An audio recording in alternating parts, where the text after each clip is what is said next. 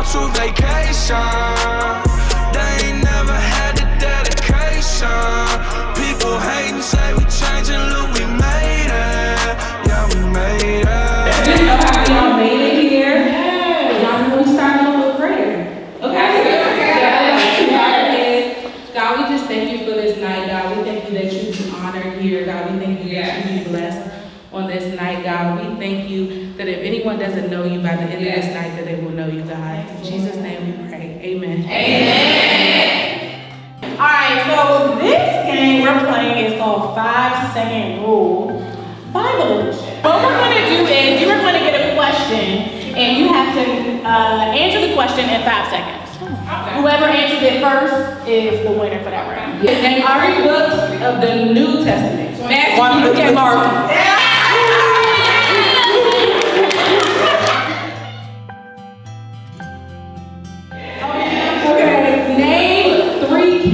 Kings in the Bible. David.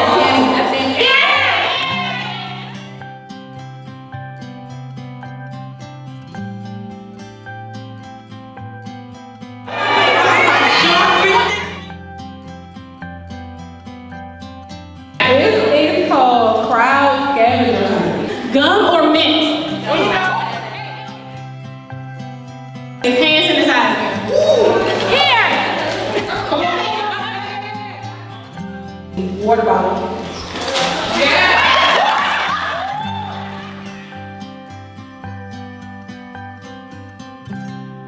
All right, so we're gonna play a song, and y'all gonna have to finish these lyrics, okay?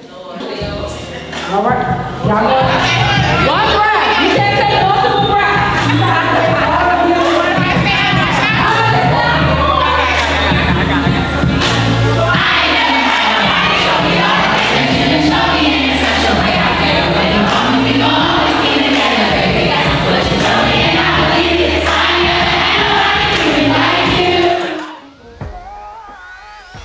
So my first point is that y'all both can't be the same person. Sam and I are different people. We're completely different people, and we don't try to be each other. And so you get into competition, you get into secret jealousy when y'all trying to be the same person. We're completely different people, and that is okay. What does it even mean to be unequally yoked? So just like in the Bible, how Jesus says, um, my yoke is light, you know, my burden is easy, yoke is light. The same with friendships. Like you should have, you should be working together to get to a goal. Sometimes you have to understand what your assignment in that person's life is. The only way you can figure that out is prayer. Yeah. The only way you can figure that out is to pray and say, all right, God, left or right? Because I'm cool with either way. so. What do you do when you feel like your expectations are too high for your friend? Every friendship is not for a lifetime. I think you have to have a little bit of grace with your friend because what are they going through that they're not able to pull up their friend weight? You have to be a friend that is okay recognizing your friend is moving into a different season. Sometimes we have traumas that will, that elevate themselves and cause us not to want our children to experience them. So I do think your upbringing, your, you know, what you value really matters too, because that's what I've seen.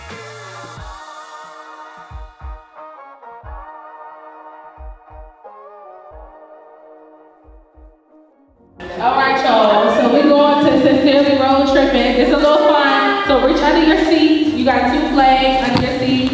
Have so Sincerely Road Tripping is sincerely just tripping. Like it's going to be a scenario, you got to find out if this person is tripping or if the marathon continues. Okay? Is it okay for your significant other to have friends of the opposite sex? Yeah.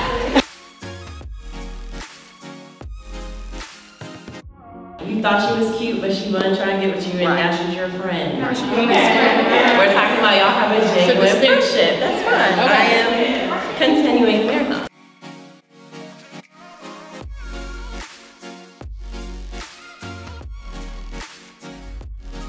Would you stop dating someone if your parents did not approve of it? So if we're dating and my family doesn't approve, then yes, um, because you know that means I can't bring you to the cookout. Is a 50-50 split on finances too new school? Take care of me,